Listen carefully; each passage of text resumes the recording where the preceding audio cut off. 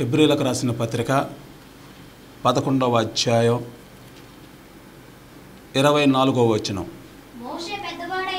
మోషే పెద్దవాడైనప్పుడు విశ్వాసమును బట్టి ఐగుప్తు ధనము కంటే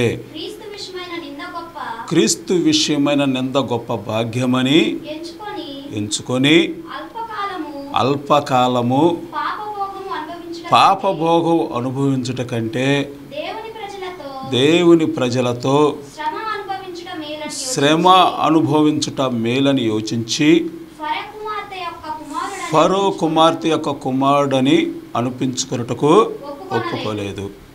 మోషే పెద్దవాడైనప్పుడు విశ్వాసమును బట్టి.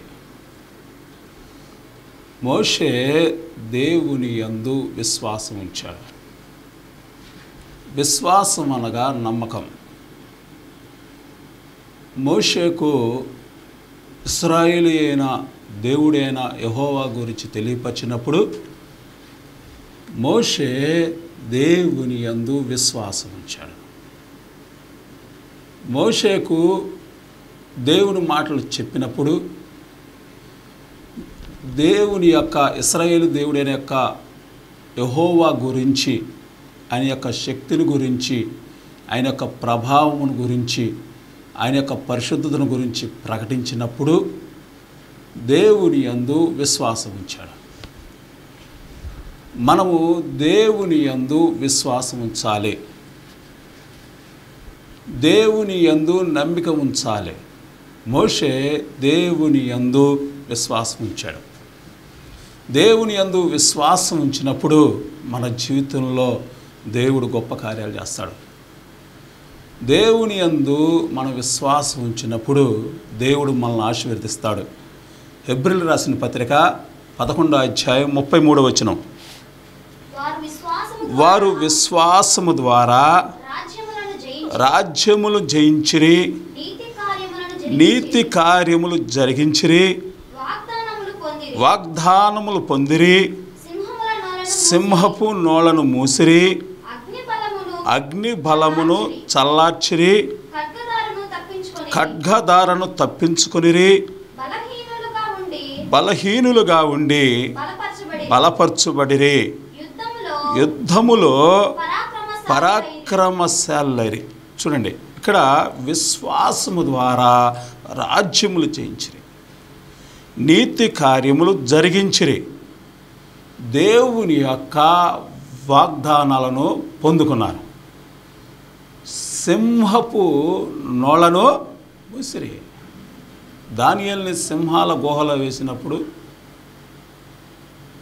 ఆ గుహ నుంచి దేవుడు తప్పించాడు. సింహాల నూలను మూసిరి అగ్ని బలమును చల్లార్చిరి. షడ్రక్ మేషక అగ్నిగోలను ఆ మండుచున్న అగ్నిలో వేసినప్పుడు దేవుడు అగ్ని గు- గుండము నుంచి విడిపించిరి. విశ్వాసము ద్వారా మనము దేవుని యందు విశ్వాసం ఉంచాలి. దేవుని యందు నమ్మిక ఉంచాలి. ఎప్పుడైతే మనం దేవుడి యందు విశ్వాసం ఉంచుతామో అప్పుడు దేవుడు మన జీవితంలో ఆయన కార్యాలు చేస్తాడు. మార్త దగ్గరికి యేసుప్రభు వెళ్ళాడు. మార్త తన సహోదరుడి గురించి చెప్తుంది. అయ్యా నువ్వు ఇక్కడ ఉంటే నా తమ్ముడు చనిపోయేవాడు కాదు బతికే ఉండేవాడయ్యా అని చెప్తుంది. అప్పుడు యేసుప్రభు అన్నాడు నమ్ముట నీ వశమైతే నమ్మువానికి సమస్తము సాధ్యమే. అప్పుడు లాజర్ సమాధి దగ్గరికి వెళ్ళి చనిపోయిన లాజర్ని లాజరు బయటికి రా అంటే చనిపోయిన లాజర్ బ్రతికించాడు. దేవుని మాటల్లో శక్తి ఉంది. యేసుక్రీస్తు మాటలో జీవం ఉంది. ఆయన వాక్కు చేత సమస్తాన్ని సృష్టించాడు. మన దేవుడు సర్వాధికారి మన దేవుడు సర్వశక్తిమంతుడు మన దేవుడు జీవము కలిగిన దేవుడు. ఆయన ఎందు విశ్వాసం ఉంచితే నీ జీవితంలో ఆయన గొప్ప కార్యాలు చేస్తాడు. కీర్తన గ్రంథం నూట ఇరవై ఐదో కీర్తన ఒకటో వచ్చిన యహోవా ఎందు నమ్మిక ఉంచువారు కదలక నిత్యము నిలుచు సియోను కొండవలనుందురు. ఎర్షిలేము చుట్టూ పర్వతములున్నట్లు పర్వతములున్నట్లు యెహోవా ఇది మొదలుకొని నిత్యము తన ప్రజల చుట్టూ ఉండును. యహోవా యందు నమ్మిక ఉంచువారు కదలక నిలుచు సియోను కొండవల అంటారు మనం దేవుని యందు నమ్మిక ఉంచితే దేవుని యందు విశ్వాసం ఉంచితే దేవుడు మనలను సియోను కొండవలె ఉంచుతారు దేవుడు మనం ఉన్నతమైన స్థితికి తీసుకువెళ్తాడు. దేవుని అందు విశ్వాసం ఉంచితే మనకు శ్రమలు వచ్చినా మనకు బాధలు వచ్చినా మనకు కష్టాలు వచ్చినా మనకు ఇబ్బందులు వచ్చినా మనకు ప్రతికూలమైన పరిస్థితులు మనకు ఎదురైనా కానీ దేవుడు మనకు సహాయం చేస్తాడు. దేవుడు మనల్ని బలపరుస్తాడు. దేవుడు మనల్ని స్వస్థపరుస్తాడు. దేవుడు మనల్ని ఆశీర్వదిస్తాడు. యహోవయందు నమ్మిక ఉంచువారు కదలకు నిలుచు సియోను కొండవల ఉందరు. ఎరుషులేము చుట్టూ పర్వతములు ఉన్నట్లు యహోవా ఇది మొదలుకొని నిత్యము తన ప్రజల చుట్టూను ఎవరైతే దేవుని యందు విశ్వాసం ఉంచుతారో వారి చుట్టూ ఆయన ఉంటాడు. వారికి తోడుగా ఉంటాడు. వారితో దేవుడు మాట్లాడతాడు. దేవుడు వారికి సహాయం చేస్తాడు. దేవుడు వారిని ఆశీర్వదిస్తాడు. దేవుడు వారిని దీవిస్తాడు. దేవుడు వారిని బలపరుస్తాడు. మన విశ్వాసం ఉంచినప్పుడు మన జీవితంలో ఆయన గొప్ప కార్యాలు చేస్తాడు. ఒకసారి భక్తి సింగ్ గారి దగ్గరికి మీడియా వాళ్ళు వచ్చారు. మీడియా వాళ్ళు వచ్చి అయ్యా ఈ పరిశుద్ధ గ్రంథంలో యోనాను చేప మింగినట్టు ఉంది కదా. ఇంత బాగా చదువుకున్నావు. నువ్వు ఎట్ట నమ్ముతున్నావయ్యా? చేప యోనాను మింగటము. ఎట నమ్ముతున్నావు? మూడు మూడు రోజులు యోనా చేప కడుపులో బ్రతికి ఉన్నాడని ఎట నమ్ముతున్నావు? మరలా మూడు కడుపులో ఉండి మూడు రోజులు కడుపులో ఉండి మరలా అతని నినేవే పట్టణంలో కక్కివేయటం ఎట్ట నమ్ముతున్నావు అని అన్నప్పుడు యోనా అన్నాడు ఈ పరిశుద్ధ గ్రంథంలో అయ్యా యోనాను చేప మింగినట్టుంది కదా కానీ ఈ పరిశుద్ధ గ్రంథంలో ఆ చేపనే యోనాను మింగాడు అంటే నేను నమ్ముతానన్నాడు. ఎందుకంటే దేవుడి మాటలు యథార్థమైనవి. దేవుని మాటలు సత్యమైనవి. దేవుని మాటలు జీవమైనవి. కనుక మనం దేవుని మాటలు నమ్మినప్పుడు దేవుడు మనల్ని ఆశీర్వదిస్తాడు. దేవుని యందు నమ్మిక ఉంచినప్పుడు దేవుని అందును విశ్వాసం ఉంచినప్పుడు మన జీవితంలో ఆయన కార్యాలు చేస్తాడు. యాజ్కెల్ని దేవుడు ఆత్మవసుడై ఉండగా ఒక ఎండిపోయిన ఎముకల్లో ఇలాగ తీసుకెళ్ళాడు. అక్కడ ఎం ఎముకలు ఎండిపోయి ఉన్నవే. అప్పుడు దేవుడు మాట్లాడుతున్నాడు నరపుత్రుడా ఇవి బ్రతకగలవా? అప్పుడు హెచ్కెల్ అన్నాడు అయ్యా నాకు తెలియదు నీకే తెలుసు అన్నప్పుడు ప్రవచించు అన్నాడు. ప్రవచించడం అంటే ప్రార్థించడం. ప్రవచించడం అంటే దేవుని గురించి ప్రకటించడం. ప్రవచించడం అంటే దేవుని యొక్క శక్తిని గురించి దేవుని యొక్క గొప్పతనాన్ని గురించి ఆ ఎండిపోయిన ఎముకలు చెప్పటం. ఎప్పుడైతే యోన ప్రకటించాడో ఆ ఎండిపోయిన ఎముకల మీదకి శరీరము మాంసము అవయవాలు వచ్చినాయి. మరలా నరపుత్రుడా ప్రవచించు అని అన్నప్పుడు మరలా ప్రవచించగానే ఆ వాటి మీదకి హతులైన వారి మీదకి జీవాత్మ వచ్చను. అప్పుడు లెక్కింప సఖ్యంగానే మహాసైన్యమైంది దేవుని అందు విశ్వాసం ఉంచితే దేవుడు నీ జీవితంలో గొప్ప కార్యాలు చేస్తాడు. మోషే దేవుని అందు విశ్వాసం ఉంచాడు. నువ్వు దేవుని అందు విశ్వాసం ఉంచితే నీ జీవితంలో ఆయన గొప్ప కార్యాలు చేస్తాడు. మోషే దేవుడు ఎందు విశ్వాసం ఉంచాడు. మోషే ద్వారా దేవుడు గొప్ప కార్యాలు చేశాడు. అదేవిధంగా మోషే పెద్దవాడైనప్పుడు ఐగుప్తు ధనము కంటే క్రీస్తు విషయమైన క్రీస్తు విషయమైన నింద గొప్ప భాగ్యమని నింద గొప్ప భాగ్యం అని. చూడు ఐగుప్తు ఐగుప్తు ధనము కంటే. మోషే విశ్వాసం ఇచ్చినప్పుడు ఏం విడిచిపెట్టాడంటే ధనాపేక్షను విడిచిపెట్టాడు.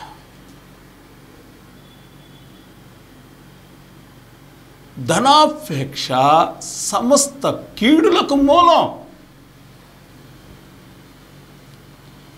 మోషే పెద్దవాడైనప్పుడు తన హృదయంలో ధనాన్ని అపేక్షించుకోలేదు. తన హృదయములో దేవునికి స్థానం ఇచ్చాడు.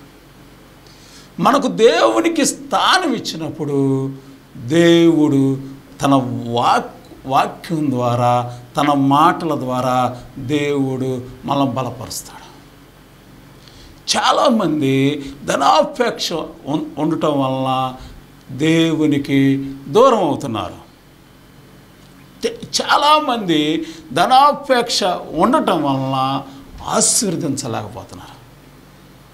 చాలామంది ధనాపేక్ష ఉండటం వలన దేవుని యొక్క కార్యాలు చూడలేకపోతున్నారు. పరిశుద్ధ గ్రంథంలో సామెతల గ్రంథం ఇరవై మూడో అధ్యాయం నాలుగో వచనం. ఐశ్వర్యము పొందక ప్రయాసపడకుము. నీకు అట్టి అభిప్రాయం కలిగినను. నీకు అట్టి అభిప్రాయం కలిగినను. దాన్ని విడిచిపెట్టుము. నీవు దాని మీద దృష్టి నిలిపిన తోడనే. అది లేకపోవు అది లేకపోవును. చాలు. ఇక్కడ ఐశ్వర్య పొంద ప్రయాసపడకుము. నీకు అట్టి అభిప్రాయం కలిగిన దాన్ని విడిచిపెట్టుము. నువ్వు ఐశ్వర్యం పొందాలని ప్రయాసపడబాక. నీ కోసం ప్రాణం పెట్టిన దేవుడు నీ కొరకు అమూల్యమైన పవిత్రమైన నిష్కళంకమైన గొర్రెపిల్ల రక్తాన్ని చిందించిన ఏసయ్య నిన్ను ఆశీర్వదిస్తాడు. ఏసయ్య నీకు సహాయం చేస్తాడు. ఏసయ్య నిన్ను అభివృద్ధిపరుస్తాడు. కానీ నీవు ఐశ్వర్య పొందాలని ప్రయాసపడబకు. అట్టి అభిప్రాయం కలిగిన దాన్ని విడిచిపెట్టుము. నీవు దాని మీద దృష్టి నిలిపిన తోడనే అది నీకు లేకపోవును. నిత్యముగా అది రెక్కలు ధరించుకుని ఎగిరిపోవును. నువ్వు ధనాపేక్ష నీ హృదయంలో ఉంటే ఆ ధనం ఆ ధనము నీ దగ్గర ఉండదు. ఆ ధనాపేక్ష నువ్వు కలిగి ఉంటే ఆ ధనము ఏమైపోద్ది? రెక్కలు ధరించుకొని ఎగిరిపోద్ది. కనుక ఒకసారి యేసు ప్రభు దగ్గరికి ఒక వ్యక్తి వచ్చాడు. వ్యక్తి వచ్చి అన్నాడు సద్బోధకుడా నిన్ను నిత్య జీవం పొందడానికి నన్ను ఏం చేయమంటావు? అన్నాడు.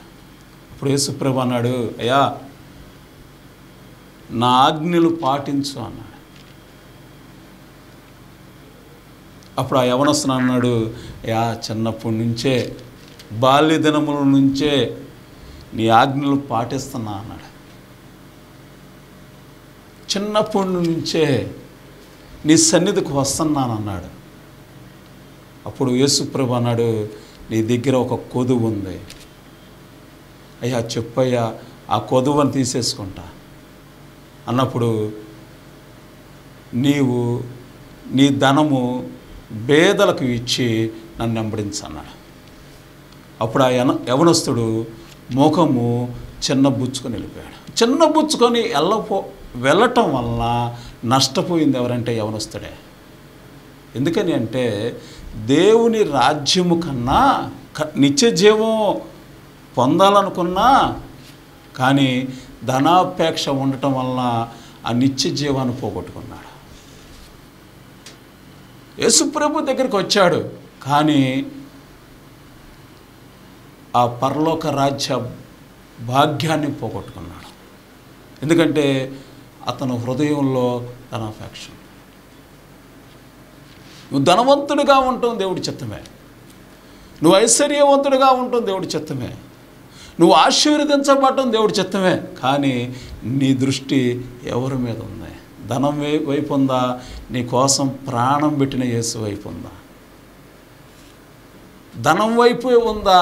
నీ కోసం అమూల్యమైన పవిత్రమైన నిష్కళంకమైన గొర్రెపిల్ల రక్తం చిందించిన యేసు వైపు ఉందా ప్రియమైన దేవుడు పిల్లారా యేసు ప్రభు చెప్పాడు ఒంటే సూది బెజ్జంలో దూరటం ఎంత కష్టమో ధనవంతుడు పరలోక రాజ్యంలో ప్రవేశించుట అంత కష్టం అని చెప్పాడు. కనుక నువ్వు ధనాన్ని ఆపేక్షించకూడదు. ఎవరిని వెంబడించాలంటే ప్రభు అయిన యేసుక్రీస్తు వైపు. దావీదు గొర్రెల కాపరే కానీ దావీదు దేవుణ్ణి వెంబడించినప్పుడు దావీదుని దేవుడు బహుగా ఆశీర్వదించాడు. నువ్వు దేవుణ్ణి వెంబడిస్తే ఆయన నిన్ను బహుగా ఆశీర్వదిస్తాడు. నువ్వు దేవుణ్ణి ఆరాధిస్తే దేవుడు నిన్ను బహుగా దీవిస్తాడు. నువ్వు దేవుణ్ణి వెంబడిస్తే ఆయన నిన్ను అభివృద్ధిపరుస్తాడు. దేవుణ్ణి వెంబడిస్తే ఆయన నిన్ను ఆశీర్దిస్తాడు దావీదుని దేవుడు బహుగా ఆశీర్దించాడు దావీదుని దేవుడు బహుగా హెచ్చించాడు. అదేవిధంగా దేవుడు నిన్ను ఆశీర్వదిస్తాడు. ఏ విధంగా ఆశీర్వదించాడంటే మొదటి దిన వృత్తాంతాల గ్రంథం ఇరవై తొమ్మిదో అధ్యాయం మూడో వచనం. మరియు నా దేవుని మందిరము మీద నాకు కలిగి ఉన్న మక్కువ చేత నేను ఆ ప్రతిష్ఠితమైన మందిరము నిమిత్తము సంపాదించిన వస్తువులు కాక నా సొంతమైన బంగారమును వెండిని నా దేవుని మందిరము నిమిత్తము నేను ఇచ్చాను చూడండి ఎట్టి ఇచ్చాడు దేవుడు. సొంత బంగారాన్ని ఇచ్చాడు దేవుడు దావిదిని బహుగా ఆశీర్వదించాడు. అంతేకాదు తన కుమారుడైన సొలోమన్ కూడా దేవుడు బహుగా ఆశీర్దించాడు నువ్వు దేవుణ్ణి వెంబడిస్తే దేవుడు నిన్ను ఆశీర్దిస్తాడు దేవుడు నీ కుటుంబాన్ని కూడా ఆశీర్దిస్తాడు నువ్వు దేవుణ్ణి ఆరాధిస్తే నువ్వు దేవుణ్ణి వెంబడిస్తే నువ్వు సిలువ వేయబడిన యేసు వైపు చూసి నువ్వు నడిస్తే దేవుడు నీ పిల్లలను ఆయన వృద్ధి పొందిస్తాడు. నీ కుటుంబాన్ని ఆశీర్వదిస్తాడు. సొలోమోనికి ఏటేటా బంగారం వస్తూ ఉండేది. సొలోమోన్ని బహుగా దేవుడు ఆశీర్వదించాడు. కనుక మనం దేవుని అందు విశ్వాసం ఉంచినప్పుడు దేవుడు మనం బహుగా ఆశీర్వదిస్తాడు. ఏప్రిల్ రాసిన పత్రిక పదకొండో అధ్యాయం ఇరవై ఆరో వచనం. క్రీస్తు విషయమైన నింద గొప్ప భాగ్యమని ఎంచుకొని అల్పకాలము పాపభోగము అనుభవించుట కంటే దేవుని ప్రజలతో శ్రమ అనుభవించుట మేలని. యోచించి ఫరో కుమార్తె యొక్క కుమారుడని అనిపించుకున్నటకు ఒప్పుకోలేదు. క్రీస్తు విషయమై నింద గొప్ప భాగ్యం అని మనం దేవుని విషయంలో మనం జీవించినప్పుడు అనేక నిందలు వస్తాయి. అయితే మనం నిందల వైపు చూడకూడదు. మనం ఎవరి వైపు చూడాలంటే ప్రభు అయిన యేసుక్రీస్తు వైపు చూడాలి. ఆయన నీ కోసం ప్రాణం పెట్టాడు. ఆయన నీ కోసం రక్తం గాచాడు ఆయన నీ కొరకు చనిపోయాడు. ఆయన నీ కొరకు మరణించాడు. ఆయన నీ కోసం పునరుద్ధాడే లేచాడు. దేవుని కోసం మనం జీవించినప్పుడు దేవుడు మనల్ని బహుగా ఆశీర్వదిస్తాడు. మత్తైసు వార్త ఐదో అధ్యాయం పదవచనం నీతి నిమిత్తము హింసింపబడ్డ హింసింపబడువారు ధనులు పరలోక రాజ్యము వారిది. నా నిమిత్తము జనులు మిమ్మల్ని నిందించి హింసించి మీ మీద అబద్ధముగా చెడ్డ మాటలు పలుకున్నప్పుడల్లా మీరు ధన్యులు సంతోషించి ఆనందించుడి. పరలోకం మందు మీ ఫలము అధికమగును. నీతి నిమిత్తము. హింసింపబడవారు ధన్యులు పరలోక రాజ్యము వారిది. నా నిమిత్తము జనులు మేము నిందించిన హింసించిన మీ మీద చెడ్డ మాటలు పలుకున్నప్పుడల్లా మీరెవరంటే ధన్యులు ధన్యులో. మోషేకి ఎన్ని నిందలు వచ్చినా మోషేకి ఎన్ని అవమానాలు వచ్చినా కానీ వాటి వైపు చూడలేదు కానీ సజీవుడైన యేసు వైపు చూశాడు. పరిశుద్ధుడైన యేసు వైపు చూశాడు. పునరుద్ధారుడైన యేసు వైపు చూశాడు. మహోన్నతుడైన దేవుడు వైపు చూశాడు. చూసి ఇక్కడ దేవుడు వాక్యం జలపిస్తూ ఉంది అల్పకాలము పాప భోగము అనుభవించడం కంటే ఏం విడిచిపెట్టాడు? పాపాన్ని విడిచిపెట్టాడు. దేవునికి మనకి దూరం అయ్యే చేసేది ఏంటంటే పాపమే. దేవునికి మనకి సంబంధం లేకుండా చేసేది ఏంటంటే అతిక్రమమే. దేవునికి మనలను ఎడబాటు చేసేదంటే పాపమే. అయితే ఆ పాపాన్ని విడిచిపెడుతున్నావా? మోషే అల్పకాలము పాపం అనుభవించడం కంటే విడిచిపెట్టాడు? పాపాన్ని విడిచిపెట్టాడు. శాపాన్ని విడిచిపెట్టాడు. దేవునికి ఇష్టము లేని ఆ జీవితాన్ని విడిచిపెట్టాడు. ఒక ఫరో తర్వాత ఒక ఫరో అవ్వాల్సిన మోషే ఏం విడిచిపెట్టంటే అల్పకాలము పాపభోగాన్ని విడిచిపెట్టాడు. నువ్వు పాపాన్ని విడిచిపెడుతున్నావా? చాలామంది ఈ రోజున యవనస్తులు ఎప్పుడు చూసినా సెల్ ఫోన్లోనే ఉన్నారు. చాలామంది ఈ రోజున దేవుడి యొక్క వాక్యాన్ని చదవలేని పరిస్థితిలో ఉన్నారు.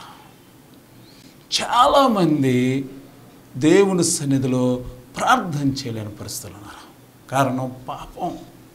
అయితే మోషే ఆ పాపాన్ని విడిచిపెట్టాడు.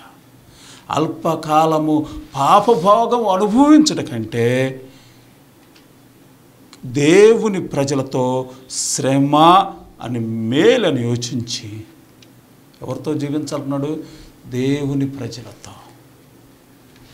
మనం దేవుని ప్రజలతో మనం నివసిస్తున్నామా? అపోస్తుల కార్యంలో రెండో అధ్యాయంలో ఉంది.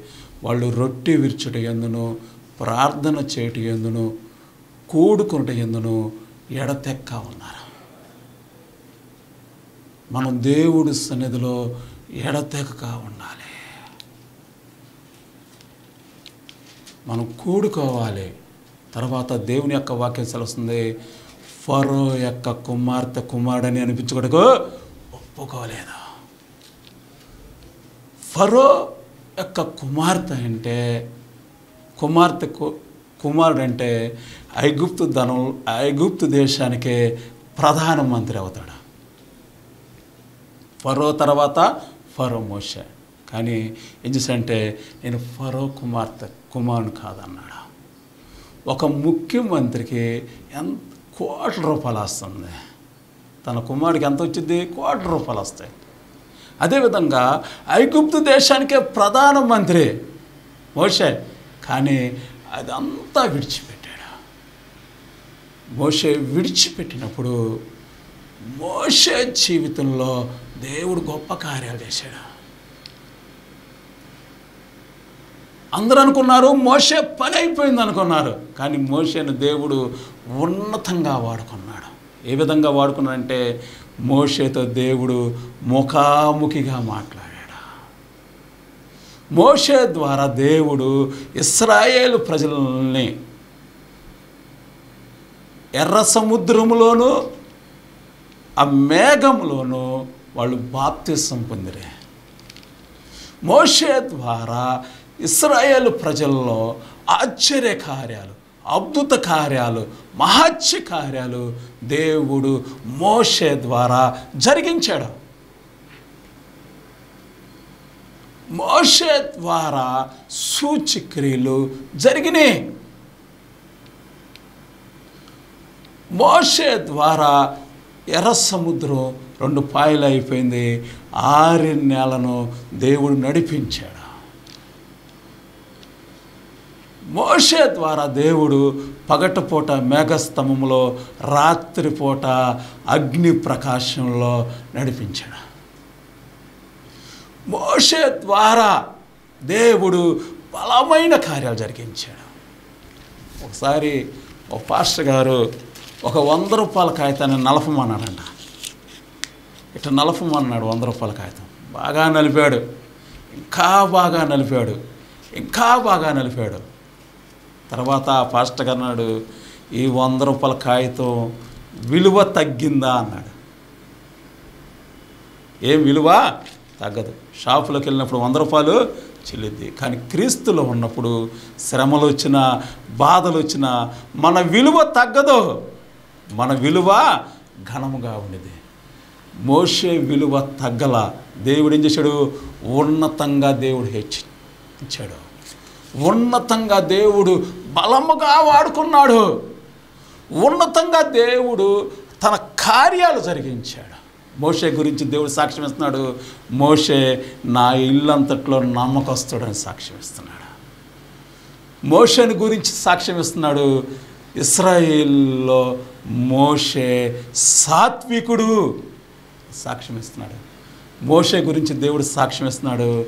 మోషే మోషేకు నేను తోడై విన్నాను నా సన్నిధి మోషేకు తోడై ఉందని చెప్తున్నాడు మన విశ్వాసం ఉంచినప్పుడు ఏసయ్య మన జీవితంలో ఆశీర్వదిస్తాడు.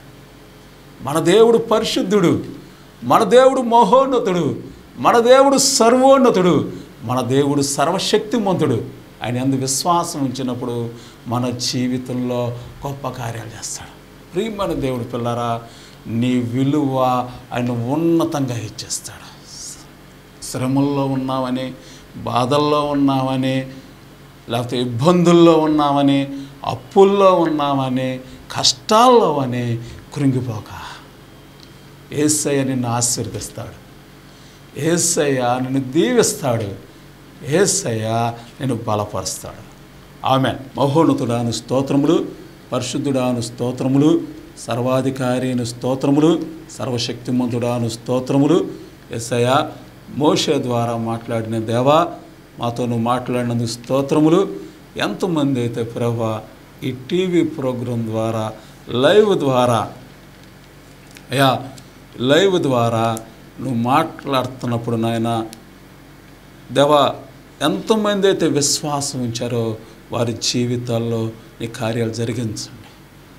నీ బిడ్డలను ఆశీర్వదించండి. నీ బిడ్డలను దీవించండి. నీ బిడ్డలను బలపరచండి. నీ బిడ్డల జీవితాల్లో కార్యాలు జరిగించండి. నీ బిడ్డల జీవితాల్లో నీ కార్యాలు జరిగించండి. నీ బిడ్డలను ఆశీర్వదించండి. దీవించండి. సహాయించండి ఏసునామలో ప్రార్థిస్తున్నాం తండ్రి. ఆమెన్. మా అడ్రస్ పొన్నూరు ఇరవయో వార్డు ఇస్లాంపేట. మీ ప్రార్థన అవసరతల కొరకు ఎనభై రెండు తొంభై ఏడు ముప్పై ఏడు అరవై ఐదు అరవై ఒకటి మరలా ఇంకోసారి. ఎనభై రెండు తొంభై ఏడు ముప్పై ఏడు అరవై ఐదు అరవై ఒకటి ప్రైజ్ ద లాడ్